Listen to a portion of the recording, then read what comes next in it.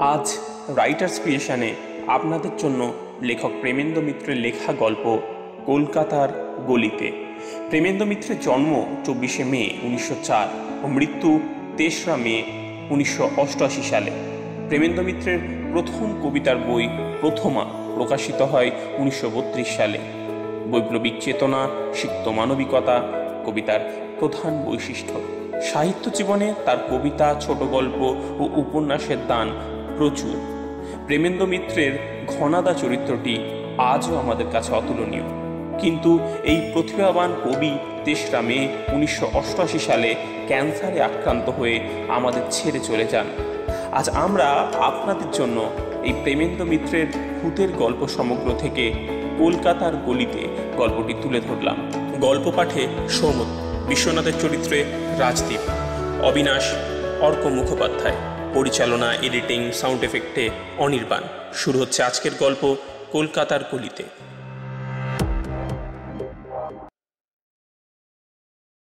বিশ্বনাথ পাড়াগাঁয়ের ছেলে। ঘুটঘুটে অন্ধকারে দুপুর রাত্রে সে বাঁশবাগানের ভিতর দিয়ে তিন ক্রোশ অনায়াসে বেরিয়ে আসতে পারে। অমাবস্যায় গ্রামের সীমানার শ্মশান থেকে মরা পুরানোর কাঠ সে কতবার বাজি ধরে নিয়ে এসেছে?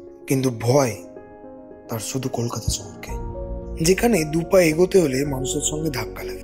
ইলেকট্রিক ও গ্যাস লাইটের কল্যাণে দিন কি রাত চেনবার জো নেই বললেই চলে। সেখানেই এক রাতে সে যে বিপদে পড়েছিল।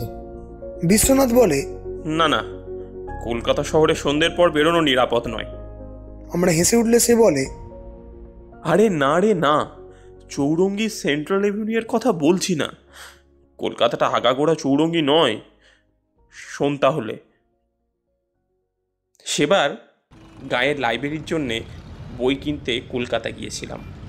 ভেবেছিলাম একদিন থেকেই বইপত্র সব কিনে রাত্রের ট্রেনে বাড়ি চলে আসব। কিন্তু কলকাতায় গেলে নতুন বায়োস্কোপে থিয়েটার না দেখে কেমন করে থাকা যায়? প্রথম দিনটা তাতেই কেটে গেল। দ্বিতীয় দিনে কলেজ স্ট্রিটে গিয়ে বই টই সব কিনে ফেললাম। সঙ্গে বিছানাপত্রের বা ওই তরঙ্গের বাক্সের ঝঞ্ঝাটটা ছিল না। শুধু একটি সুটকেস তাতে বইগুলো ভরে একেবারে সোজা শিয়ালদা স্টেশনে গিয়ে উঠলেই হতো। কিন্তু হঠাৎ কি খেয়াল হলো? একবার অবিনাশের সঙ্গে দেখা করে যায় অবিনাশ, আমাদের গ্রামের ছেলে। স্কুলে আমার সঙ্গেই পড়াশোনা করেছে। কলেজেও কয়েক বছর আমরা একসঙ্গেই পড়েছিলাম। অবিনাশ বেশি দিন অবশ্য কলেজে থাকেনি। অত্যন্ত খেয়ালি ছেলে। কোনো কাজে বেশি দিন লেগে থাকবার মতো ধৈর্য তার ছিল না। ছেলেবেলা থেকেই কেমন যেন তার উড়ু উড়ু ভাব। বাড়ি থেকে যে কতবার সে ছেলেবেলায় পালিয়ে গেছে, তার ঠিকানা নেই। বড় হয়েও তার সে স্বভাব কাটেনি। কথা নেই, বার্তা নেই। হঠাৎ একদিন হয়তো আমরা শুনলাম, অবিনাশ হেঁটে সেতুবন্ধ যাবার জন্য বেরিয়ে পড়েছে। তারপর হয়তো দুই মাস তার দেখাই নেই। আমরা কোনো রকমে প্রক্সি দিয়ে হয়তো সেবার তার কলেজের খাতায় কামাইয়ের সংখ্যা কমিয়ে রাখলাম। কিন্তু এমন কতদিন রাখা যায়? বছরের শেষে এক্সামিনেশনের সময় দেখা গেল, অবিনাশ আমাদের প্রক্সি দেওয়া সত্ত্বেও কলেজে এত কম দিন এসেছে যে তার পরীক্ষা দেওয়ার অনুমতি পাওয়া অসম্ভব। আমরা দুঃখিত হলাম। ছেলেটা এত আমোদে মিশুকে ছিল যে আমরা সবাই তাকে ভালোবাসতাম। কিন্তু অবিনাশের যেন স্ফূর্তিই হলো। বলল তবে আর কি ভাই? বর্মাটা একবার ঘুরে আসি। তারপর অবিনাশের আর দেখাই নেই। আমাদের চেয়ে তার ধাতই ছিল আলাদা। পৃথিবীটা যে মস্ত বড় এই আনন্দেই তার মন ভরপুর হয়ে থাকতো। পৃথিবীর এই বিশালতাকে দেশে দেশে নতুন পথে ঘুরে ঘুরে উপভোগ করে তার আশা আর মিটতে চাইতো না। যেসব দেশ সে এখনও দেখেনি তার আকর্ষণের কথা সে মাঝে মাঝে এমন তন্ময় হয়ে বলতো যে আমাদেরও কখনো কখনো মোহ ধরে যেত। কেমন যেন হতো। তিন মাস আগে আমার গ্রামের ঠিকানায় এই অবিনাশের একটা চিঠি পেয়েছিলাম বহুদিন বাদে। একটা গলির ঠিকানা দিয়ে লিখেছিল যে সে অনেক জায়গায় ঘুরে ফিরে সে কলকাতার এই ঠিকানায় আপাতত আছে। আমি এসে যেন তার সঙ্গে দেখা করি। এতদিন বাদে তাকে সেই ঠিকানায় পাওয়া হয়তো যাবে না জেনেও একবার যেতে ইচ্ছে হলো। বাড়ির নম্বরটা ভুলে গিয়েছিলাম, কিন্তু গলিটা মনে ছিল। ভাবলাম কলেজ স্ট্রিট থেকে তো বেশি দূর হবে না। ট্রেনেরও এখন ঢের দেরি আছে। একবার দেখা করেই যাই, যদি তাকে পাওয়া যায়। একটু খোঁজাখুঁজির পর একটা গলি রাস্তায় ঢুকে একজনকে জিজ্ঞেস করে জানলাম, আর একটু গেলেই অবিনাশ যে গলিতে থাকে তা পাওয়া যাবে। রাত তখন বেশি নয়। বড় জোর আটটা হবে। কিন্তু গলি দিয়ে খানিক দূরে হেঁটেই একটু আশ্চর্য হয়ে গেলাম। গলিই হোক আর যাই হোক, কলকাতার পথ তো বটে। অথচ এই আটটা রাত্রে সেখানে একটি জনপ্রাণী নেই। ভেবেছিলাম খানিক দূরে গিয়ে আবার কাউকে পথ জিজ্ঞাসা করব। কিন্তু লোক কোথায়? তাছাড়া গলিটাও যে ফুরোতে চায় না, একবার সন্দেহ হলো। হয়তো ভুল পথে এসেছি। কিন্তু যে লোকটা আমায় খবর দিয়েছে, আমায় ভুল পথ দেখিয়ে তার লাভ কি? নির্জন রাস্তায় চুরি ডাকাতি? কিন্তু আমার কাছে কি এমন লাখ পঞ্চাশ টাকা আছে যে চোরেদের ষড়যন্ত্র করতে হবে? আমার সাজ পোশাক দেখেও বড় লোক বলে ভুল করবার কোনো সম্ভাবনা নেই। তবে আরও খানিকটা এমনি করে এগিয়ে গেলাম। পথ তেমনি নির্জন। বাতিগুলো কি এ পথেই মিটমিটে হতে হয়? একে গ্যাস পোস্টগুলো অত্যন্ত দূরে দূরে। তার উপর কি কারণে জানি না। আলো তাদের এত ক্ষীণ যে রাস্তায় আলো হওয়া তো দূরের কথা। সেগুলো যে জ্বলছে, এইটুকুই বুঝতে কষ্ট হয়। খাস কলকাতার ভেতর এমন রাস্তা আছে, কে জানতো? দুপাশের বাড়িগুলো যেন মান্ধাত্তার আমলের তৈরি। কোনো রকমে হাড়, ইট, কাঠের জীর্ণ দেওয়ালগুলোতে দাঁড়িয়ে আছে। না আছে কোনো বাড়িতে একটা আলো, না জনমানুষের একটু শব্দ। সে রাস্তার পাশে সারের পর সার পুরো বাড়ির মতো সব খাঁ খাঁ করছে। ক্রমশ মনে হলো একটা কেমন যেন ভ্যাবসা গন্ধ নাকে আসছে। বহুদিন আলো, বাতাস সেখানে ঢোকেনি। মানুষের বাস যেখানে বহুদিন করে নেই, এমনি ঘরে ঢুকলে যেমন গন্ধ পাওয়া যায়, গলিটা ঠিক সেই রকম একটা গন্ধ পাচ্ছিলাম। লোকটা বলছিল, কিছু দূর দূরে গেলেই ডাইনে গলি পাওয়া যাবে। কিন্তু জনমানুষের জীর্ণ বাড়ির সারের ভেতরে ডাইনে বাঁয়ে কোথাও কোনো পথ নেই। সামনের পথও খানিক দূরে গিয়ে দেখলাম বন্ধ। যে পথে ঢুকেছি, গলিটার ওই একটি মাত্রই তাহলে বেরোবার রাস্তা। সেখান থেকে ফিরলাম। গলিটা যেন আরও অন্ধকার মনে হচ্ছিল। এতক্ষণ যে গ্যাসগুলো মিটমিট করে জ্বলছিল, তারই কটা একেবারে নিভে গেছে দেখলাম।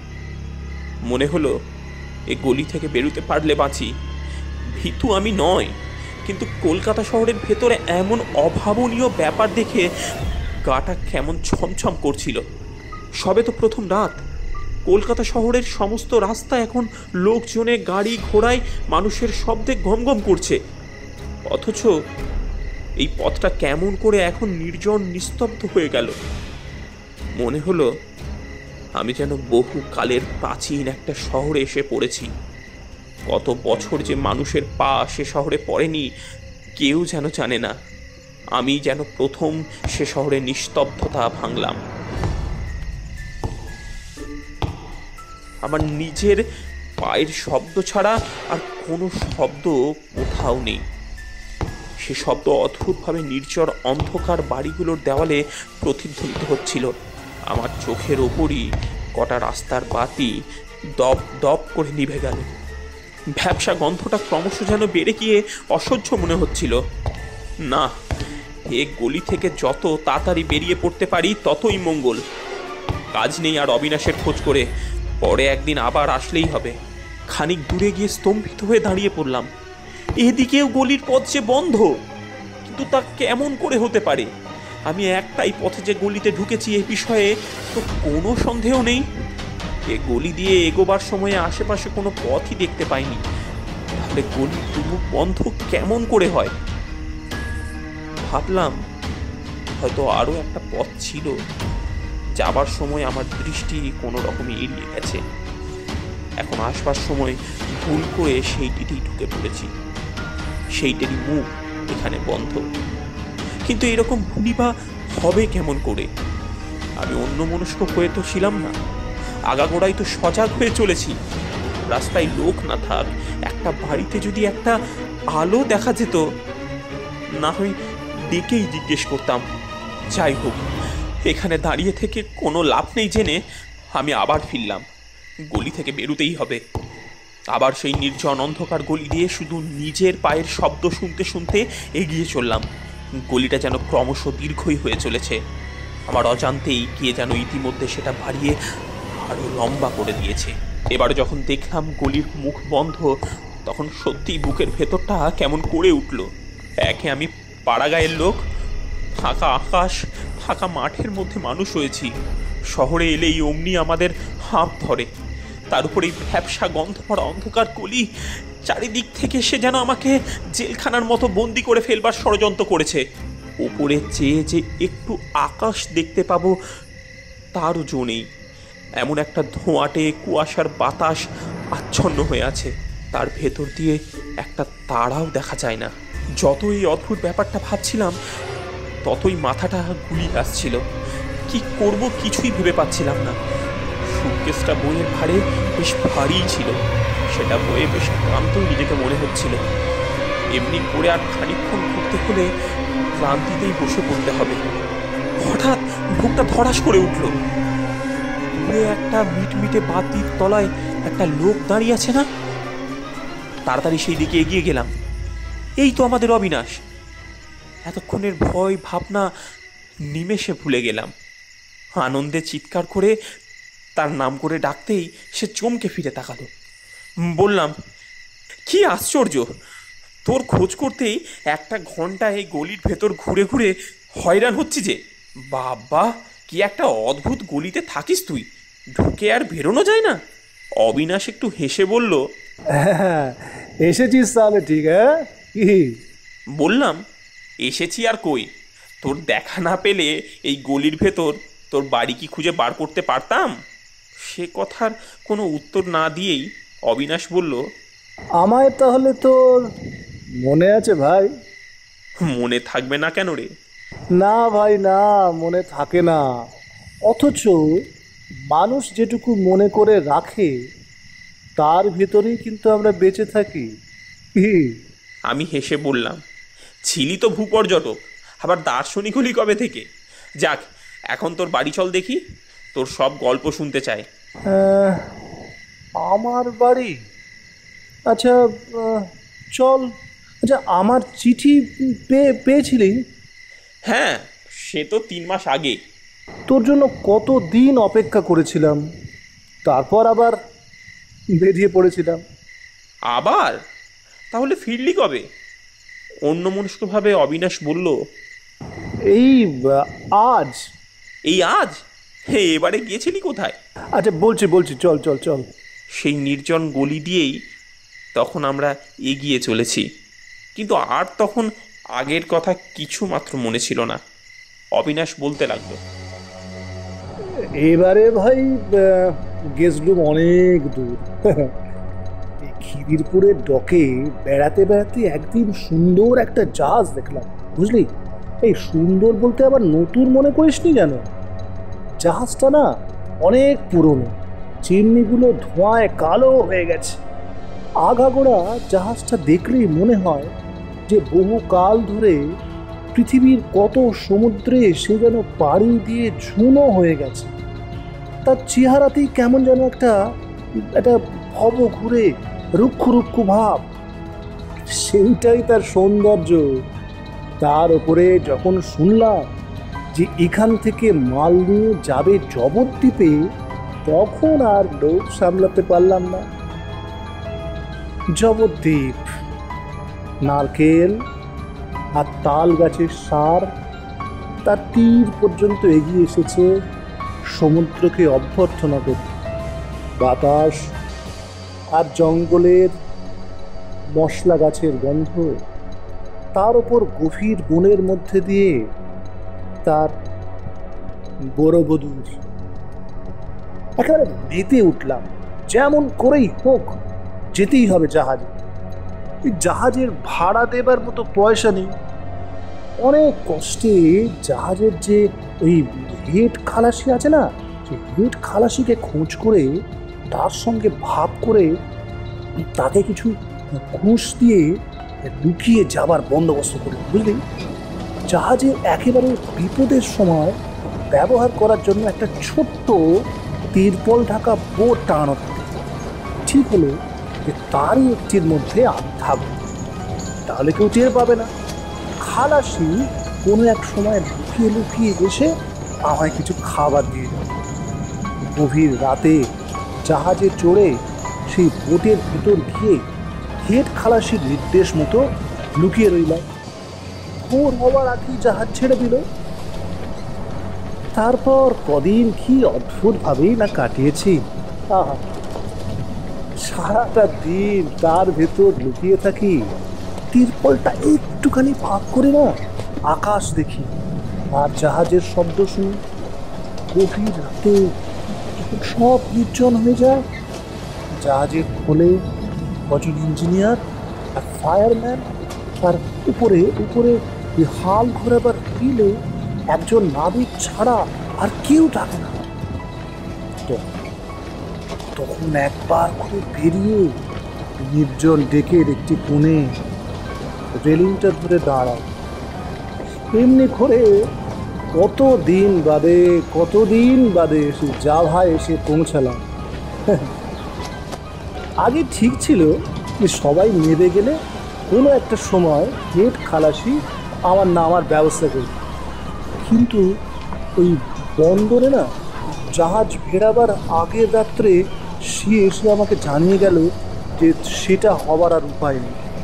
এখানে এখানে মাল নামানো হলেই জাহাজটাকে সতাল ড্রাই করে রং করবার জন্য পাঠানো হবে এ মানে ঠিক আছে। সুতরাং যেভাবেই হোক মানে আমরা যে নামার ব্যবস্থাটা করেছিলাম, সেভাবে আর নামা যাবে। তাহলে উপায়? খালাসি বললে যে একটা উপায় আছে। সবাই যখন জাহাজ ফেরাবার সময় সেই কাজে ব্যস্ত থাকবে, তখন যদি আমি জাহাজ থেকে জলে পড়ে একটুখানি সাঁতরে যেতে পারি, তাহলেই হয়। তাড়াতাড়ি রাজি হয়ে গেলাম। জাহাজ যেটিতে লাগাবার আয়োজন চলছে এমন সময়, বুঝলি? এমন সময় সন্তর্পণে আমি ওই বোটের ঢাকনিটা সরিয়ে নেমে পড়লাম। আমার আমার আমার পুঁটলিটা আমার পিঠে বাঁধা ছিল। রেলিংয়ের ধারে গিয়ে জেটির উল্টো দিকে ঝাঁপ দিতে আর কতক্ষণ কেউ দেখতেও পেল না ঝাঁপ দিয়ে পড়লাম ঠিক! কিন্তু কিন্তু সেই মুহূর্তে না, জাহাজটা জেটিতে ফেরবার জন্য পাশে সরে আসতে আরম্ভ করল! জাহাজের বিশাল প্যাডেলের ঘায়ে জলটা তোলপাড় করে উঠল ও ও কি ভীষণ তার টান! আমি আমি প্রাণপণে সে টান ছাড়িয়ে আসতে পারলাম না! ও সে ঘূর্ণমন ভয়ঙ্কর প্যাডেলের দিকে তলিয়ে গেলাম আমি শিউরে উঠে বললাম তারপর তারপর সেই সেই প্যাটেলের ঘা সামনে একটা গ্যাসের বাতি তখনও জ্বলছিল অবিনাশ তার জামাটা তুলে দেখালে কি কি ভয়ঙ্কর লেগেছে দেখলি হ্যাঁ দেখলি দেখলি হ্যাঁ, হ্যাঁ, হ্যাঁ জামার নিচে যে কিছুই নেই, একেবারে ফাঁকা, শূন্য। ভালো করে আবার চেয়ে দেখলাম, দেহ নেই, কিছু নেই, ওধারের গ্যাস পোস্টটা যে জামার তলা দিয়ে স্পষ্ট দেখা যাচ্ছে। উপরের দিকে চাইলাম, সেখানে অবিনাশের মাথা নেই, শূন্য শূন্য, সব শূন্য। অস্ফুট চিৎকার করে সুটকে সাথে নিয়ে আমি দৌড়তে শুরু করলাম। কিন্তু কোথায় যাব? যেদিকেই যাই, নির্জন গলির মুখ বন্ধ। চিৎকার করে একটা পোড়বাড়ির দরজায় ঘা দিলাম। খুলুন খুলুন। না। ও দাদা, দরজাটা খুলুন না। তার ভেতরের দরজা জানলাগুলো পর্যন্ত আঘাতের প্রতিধ্বনিতে ঝনঝন করে উঠল। কিন্তু কারও সাড়া নেই। অন্ধকার। গলি মনে হলো আমার চারিধারে সংকীর্ণ হয়ে আসছে। অসহ্য তার ভ্যাবসা গন্ধ। তারপরে আমার আর মনে নেই। যখন জ্ঞান হলো, তখন দেখি কে একজন আমায় বলছে ওকে বাবু! ये শিয়ালদা স্টেশন আ। গয়া শিয়ালদা স্টেশন? অবাক হয়ে দেখি আমি আমার সুটকেস সমেত একটা রিক্সায় বসে আছি। সামনে শিয়ালদা স্টেশন। নেমে পড়ে তার ভাড়া চুকিয়ে দিলাম। কিন্তু কখন, কেমন করে যে আমি রিক্সায় উঠেছি, কিছুই মনে করতে পারলাম না। হ্যাঁ তারপর খোঁজ নিয়ে জেনেছি, অবিনাশ দু মাস আগে জাভার বন্দরে অমনি করেই মারা গিয়েছিল। আজকে আপনারা শুনছিলেন প্রেমেন্দ্র মিত্রের লেখা গল্প কলকাতার গলিতে। আরও এরম গল্প শুনতে ও আমাদের সঙ্গে জুড়ে থাকতে আমাদের ডেসক্রিপশানে দেওয়া ফেসবুক পেজটিকে ফলো করুন এবং সাবস্ক্রাইব করুন লাইক করুন এবং গল্পটি শেয়ার করুন আপনাদের বন্ধুদের সাথে। ভালো থাকবেন, দেখা হচ্ছে পরের গল্পে।